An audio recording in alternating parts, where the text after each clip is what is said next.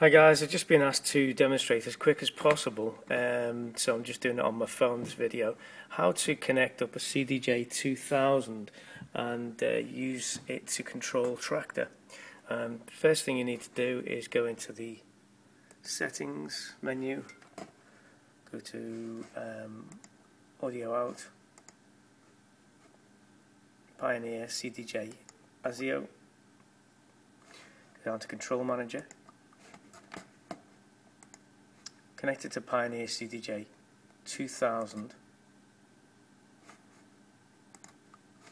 external routing. Then turn the CDJ 2000 on. Make sure the USB is now going to be connected so it finds it. Okay. Then go to link and you'll get this. Asking you to push. That's the button you need to push. Okay turn the control knob, select the deck I want, deck A, push again, and there you go, there's all the controls.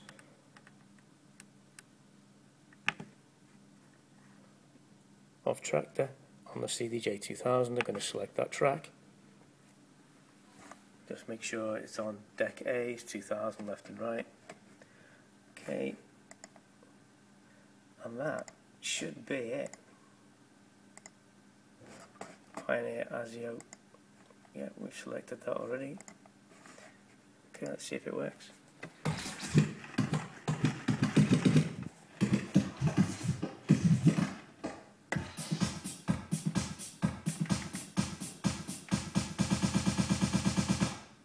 Perfect.